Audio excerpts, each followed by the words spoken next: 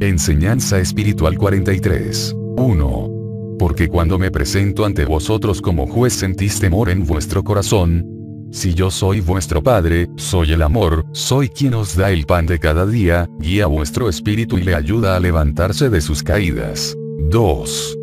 Vengo a daros fortaleza en estos momentos de prueba, en que los elementos de la creación se estremecen con el estruendo de la guerra. No temáis, procurad que vuestra elevación y fervor se aviven y os acerquen más y más al dolor de vuestros hermanos, a los que agobian las guerras fratricidas, para que compartáis su cáliz de amargura, que la oración que en silencio elevéis sea como un llamado a la paz, unión y buena voluntad a la humanidad. 3. Yo quiero que a pesar de todos los males que la guerra ha ocasionado, no veáis como enemigos a los habitantes de esos pueblos, para que mañana podáis verlos como hermanos. 4.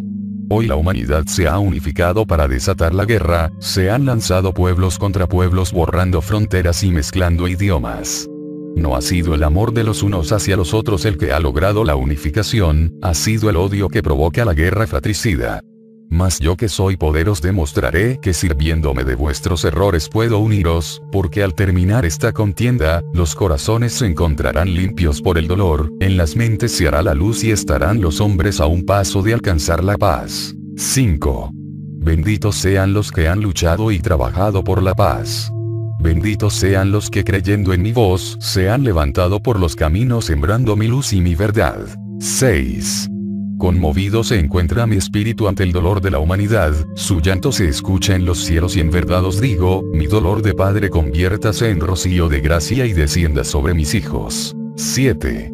Apurad con paciencia y mansedumbre ese cáliz de amargura, porque vuestro llanto va a tornarse en regocijo. 8. Si en este instante os preguntase, si habéis cumplido vuestra misión en la tierra, si traéis en vuestra mano la espiga dorada de vuestro trabajo, si os habéis amado los unos a los otros y os habéis sabido perdonar, tendréis que decirme, que nada de eso habéis cumplido. 9. Pueblo. Las eras han pasado y aún os encontráis aletargados. Despertad y ved que no habéis aprovechado debidamente la vida de que habéis disfrutado en la tierra. 10. Mi voz ha venido a despertaros con amor, con dulzura, mas no toméis esta palabra como un arrullo para entregaros más al sueño, porque en el sentido de ella está presente el juez, que juzga cada uno de vuestros actos. 11. No seáis vosotros de los que esperan que mi justicia les toque para creer y despertar. 12. No digáis todavía que en verdad me amáis. Esperad, que cuando esto sea no serán vuestros labios los que lo prodiguen, serán vuestras obras. No hagáis alarde de limpidez y al mismo tiempo tratéis de ocultar vuestras manchas, porque con ello imitaréis a los hipócritas fariseos. 13. Ved que aún vengo como maestro y como padre, porque si solo como juez viniere no habría lugar en donde pudieseis ocultaros. 14. Cuando lleguéis ante mi presencia, tendréis que responder de la palabra que escuchasteis, la cual veréis escrita en vuestra conciencia. 15. ¿No sentís como el espíritu incansable de Elías ilumina vuestro camino, apartando de él los tropiezos y que os ayuda con el báculo de su caridad cuando os sentís cansados? Buscadle, llamadle en vuestra oración y sentiréis muy próxima su presencia, porque Él es el pastor de los espíritus en este tercer tiempo, quien os guiará hasta las mismas puertas de la tierra prometida que es el aprisco celestial. 16 que vuestro espíritu se llene de gozo, sabiendo que en tres tiempos ha escuchado la voz de mi divinidad, porque una vez más seréis mis testigos. Por eso os preparo y bendigo vuestros labios, para que de ellos broten el mañana palabras de vida para las multitudes que están por llegar. Vuestra fe ha sido encendida y alentada con los prodigios que os he concedido y que juzgabais como imposibles. 17. Yo soy el camino, el buen sendero que siempre he venido a señalaros. Al ir por él, se sufren peligros, tentaciones, acechanzas. Para ayudaros os he dado la luz de la conciencia como un faro que os guía y os oriente, además de haberos concedido un ser espiritual como guardián y protector por toda vuestra vida. ¿Creéis que si aprovecháis debidamente esta gracia, podríais perderos en el camino? ¿Habrá alguno de mis hijos que al escuchar esta palabra no sienta gozo en su espíritu? De cierto os digo, que yo sí me recreo cuando escucho vuestra voz espiritual, cuando os eleváis en oración. 18. Despertad vuestra sensibilidad espiritual para que gocéis con el esplendor de mi manifestación, la cual pasa desapercibida en vuestro espíritu, por falta de elevación. Recreaos ante la visión del más allá, como a veces os maravilláis ante la contemplación de la naturaleza, admirando su armonía, su belleza y perfección descubriendo que un ser no podría vivir sin el otro, sino que todos viven porque les une la ley de armonía. Así es también el más allá. Os he dicho, que mientras existan espíritus que estén fuera del camino de evolución, no habrá paz ni armonía perfecta, porque es como si en el cosmos se salieran de sus órbitas algunos astros. ¿Qué pasaría con los demás? ¿No perdería el conjunto su equilibrio? 19. Si la humanidad cumpliese con los preceptos de mi ley y armonizara su naturaleza material con la espiritual, su existencia sería más plácida, el camino sin tropiezos y el trabajo sería ligero. No la azotarían las enfermedades ni envejecería prematuramente. 20. Antes de la creación de la materia, ya eran los espíritus brotaron de mí inocentes, más para que supieran de quién habían nacido, cuál era su destino y quiénes eran ellos mismos, les hice oír mi voz diciéndoles, He aquí a vuestro Padre. Soy el Espíritu de Amor. Vosotros habéis brotado de mi seno y tendréis que desarrollar y comprender esta esencia. Vivid, caminad, conoced y perseverad en el bien, que esta voz que habéis oído sea eternamente luz sobre vuestro espíritu, ella es vuestra conciencia, la cual os hará retornar a mi seno, ya no como niños recién nacidos, sino como seres desarrollados en la virtud, en la experiencia y en todas las potencias que os he dado. Entonces me amaréis, me conoceréis verdaderamente y estaréis en armonía con todo lo existente. 21. Hay seres que nunca han habitado en la tierra, mas si los que han errado y llevado mucho dolor en este mundo juzgan que es injusto que unos vengan a habitar el valle de lágrimas mientras otros, cerca del Padre nunca han conocido el dolor, yo os digo, que aun cuando algunos no hayan venido a la tierra, en el más allá han ayudado con su amor a la restitución de sus hermanos. 22. Hoy viven distanciados espiritualmente los seres que habitan los distintos valles, mas yo no he puesto distancias entre el amor de los hermanos. Si supieseis cuán cerca estáis unos de otros. Ha sido el hombre el que con su materialismo, rompió los lazos que les unía a todos sus hermanos, y mientras más ha descendido la humanidad, mayor ha sido su división y falta de armonía no solamente se ha distanciado de lo espiritual, aún en su propio mundo se ha dividido en reinos, en pueblos y naciones, encerrándose más y más en el egoísmo. 23. Así, la luz de vuestra fe se ha apagado y la intuición de la vida eterna se ha turbado. 24. Hoy, cuando un ser querido os da el adiós para marchar a lejana comarca, le despedís con lágrimas, porque sabéis que si se va niño, tal vez volverá adolescente, y si es joven, volverá anciano. Pero siempre abrigáis la esperanza de verle retornar para estrecharlo nuevamente, porque sabéis que aunque distantes se encuentren en el mundo, volveréis a abrazarles. Mas cuando esos seres parten al más allá y veis que su cuerpo inerte y frío queda bajo la tierra, entonces vuestro corazón se siente desgarrado, porque habéis perdido la esperanza de volverlo a ver, olvidando que el espíritu sobrevive a la materia y al cual volveréis a estrechar cuando ambos en su elevación vuelvan a encontrarse en el sendero de su evolución. 25. Fue necesario que Dios se humanizara en Jesús y habitara entre la humanidad, para que recordaseis enseñanzas olvidadas. El maestro os enseñó lecciones nuevas y os anunció que os haría nuevas revelaciones llegado el tiempo. 26.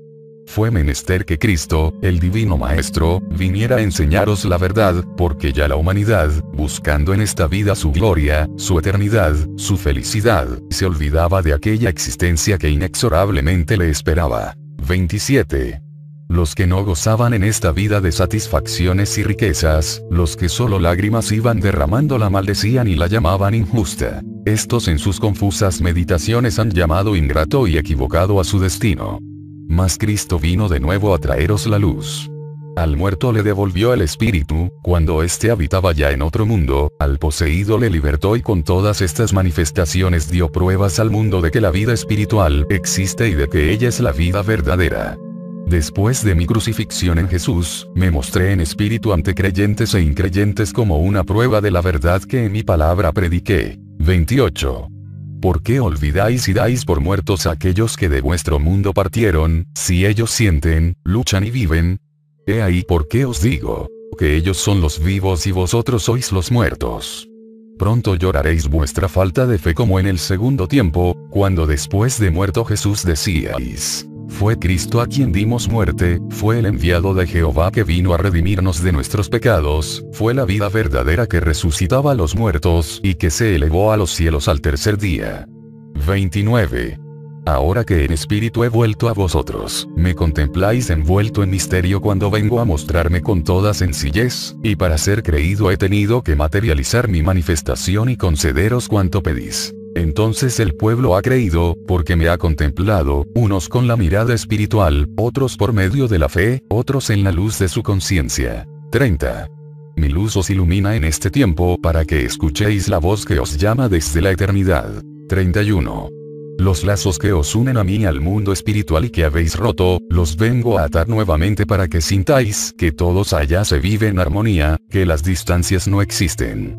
Mas, cuando atarán los hombres su vida con lazos de amor, cuando hayan retornado al camino de mi ley en donde existe la justicia, cuando cumplan con mi precepto que os dice, amaos los unos a los otros. 32. Ved, discípulos, cómo no son muertos los que han dejado este mundo. Bienaventurados los que dan el adiós al cuerpo que depositan en la tierra y no lo vuelven a visitar para contarle sus cuitas, porque ese ya dejó de ser y no escucha. 33. El cuerpo cuando muere es como la flor cuando se corta que luego se marchita, mas su perfume es como el espíritu que se desprende e inunda de esencia el ambiente. 34. En aquel tiempo os dije, dejad que los muertos entierren a sus muertos. Hoy os digo, resucitad a los unos y a los otros. 35. Decídales que mientras el cuerpo se desintegra en la tierra, en el más allá se purifica el espíritu. La muerte es descanso para la carne y liberación para el espíritu. Mas nadie intente librarse por su propia voluntad o sea fuera de la hora marcada por mi voluntad. No porque en el último instante tengáis junto a vuestro lecho a un confesor que os auxilie espiritualmente, creáis que estáis a salvo, ni por vuestro arrepentimiento en esa hora creáis llegar a mí, creyendo haber alcanzado el final de vuestra evolución. Aprended a amar, a perdonar y bendecir en vuestra vida, y labrad con vuestras obras de amor y caridad hacia vuestros hermanos, la purificación de vuestro espíritu. 36. Cumplid sobre la tierra mi ley como hombres de buena voluntad, y la paz llegará a vuestro corazón.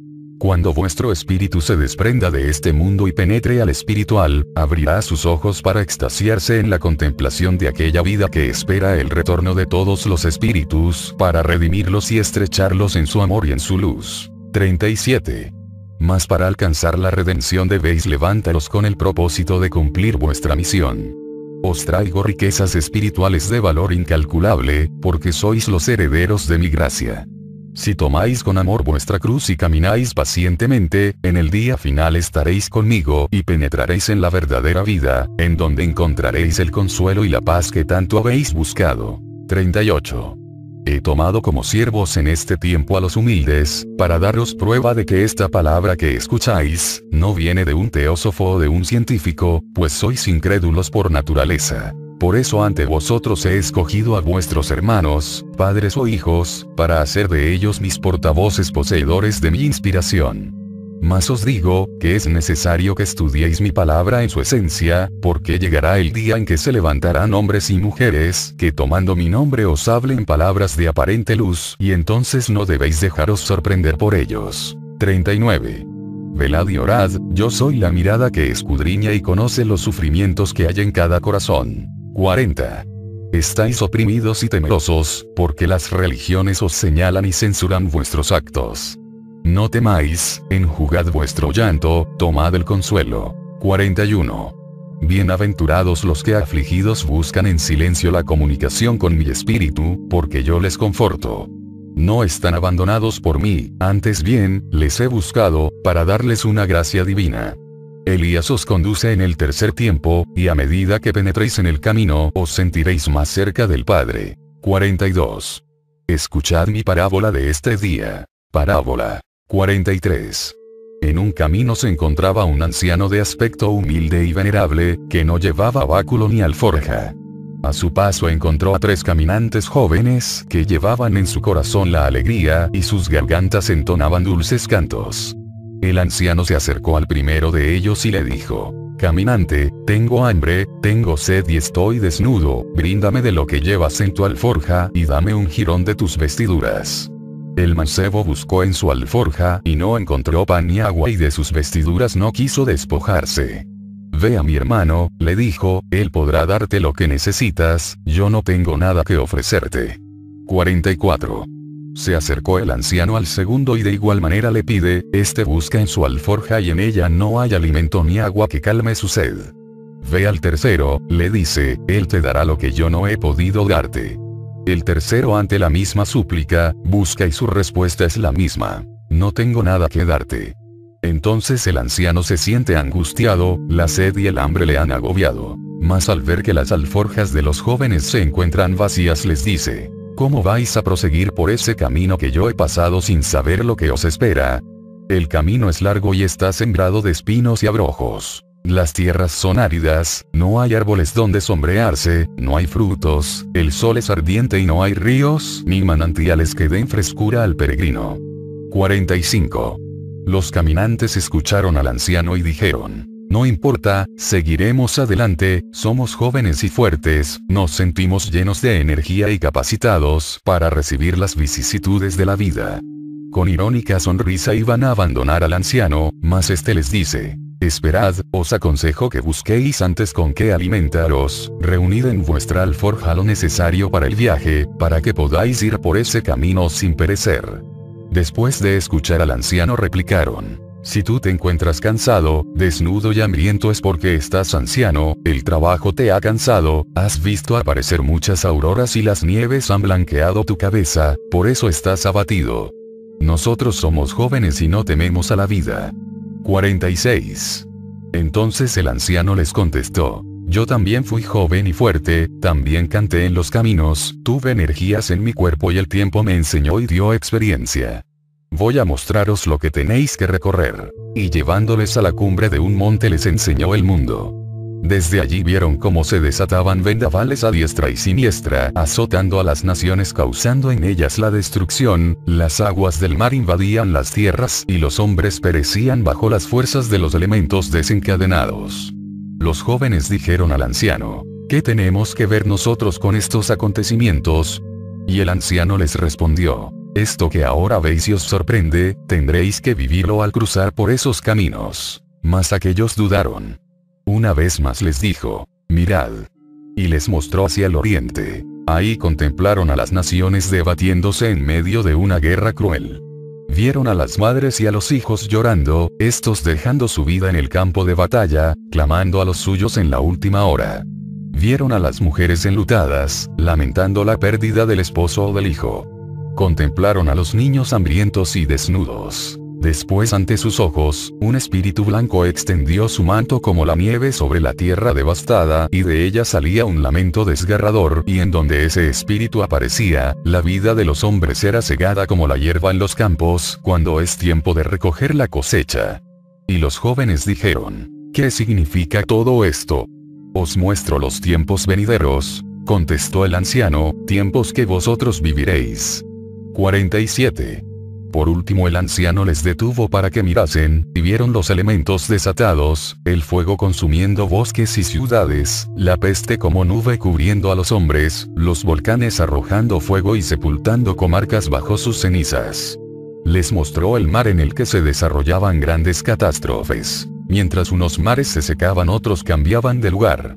Por último vieron aparecer en el firmamento cuatro ángeles con trompetas, anunciando la consumación de los tiempos. 48. Los mancebos quedaron sobrecogidos de terror. Entonces el anciano les dijo, He aquí que os he mostrado los acontecimientos que han de suceder y por los que tendréis que atravesar. 49. Aquellos jóvenes con el rostro demudado, clamaron a la naturaleza y ésta no les oyó, y en el instante en que su corazón lleno de angustia lloraba sin consuelo, la voz del anciano llena de paternal dulzura les dijo, No desesperéis, postrad vuestra rodilla y llorad al Todopoderoso. Él extendió su mano y todo fue silencio, calma y paz. La visión desapareció.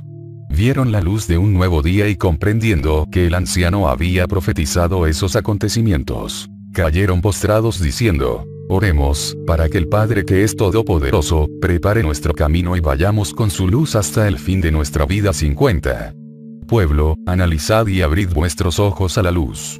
Vosotros sois los tres caminantes que a través de los tiempos he llamado y doctrinado para que seáis llenos de mi sabiduría y encendáis vuestra fe, os preparéis para el camino de la vida y lleguéis al final, penetrando en la vida espiritual en donde encontraréis mi paz. 51. En los tiempos pasados no os convencisteis con mi palabra, y cuando el Maestro se ausentó, vuestro espíritu no encontró la paz. Yo os he dicho, bienaventurados los que creen. Bienaventurados los hombres de fe, porque ellos tendrán vida eterna. 52. A vosotros los preparados de este tiempo, os digo, tengo hambre y sed de vuestro amor. Hijos míos, no habéis alcanzado a comunicaros con vuestro Dios por falta de espiritualidad. Desechasteis las virtudes que he derramado en vosotros y perdisteis vuestro tesoro. 53. Ahora os digo, Tomad la enseñanza que vengo a daros en la sexta etapa. No busquéis en los libros del mundo luz para vuestro espíritu, porque no la encontraréis. No busquéis en ellos respuestas a vuestras preguntas ni solución a vuestros problemas. Orad, comunicaos conmigo, que yo atenderé vuestras peticiones. 54. Antes de que me presentéis vuestra tribulación, la Madre Divina intercede por vosotros y os bendice, y a su vez os pide la intercesión, y vuestra oración por los que sufren. Ella pide a la humanidad que cese en su ambición y en sus guerras, que ya no derrame más sangre inocente.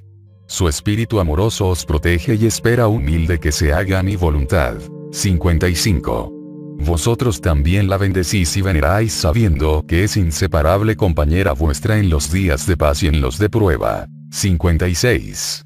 Mi sangre fue derramada para que reinara la paz y la justicia entre los hombres, mas no he sido bien comprendido. Si hubieseis aprovechado esa lección habríais alcanzado mayor grado de evolución, y la luz que he derramado en el transcurso de los tiempos, iluminaría plenamente a vuestro espíritu. 57.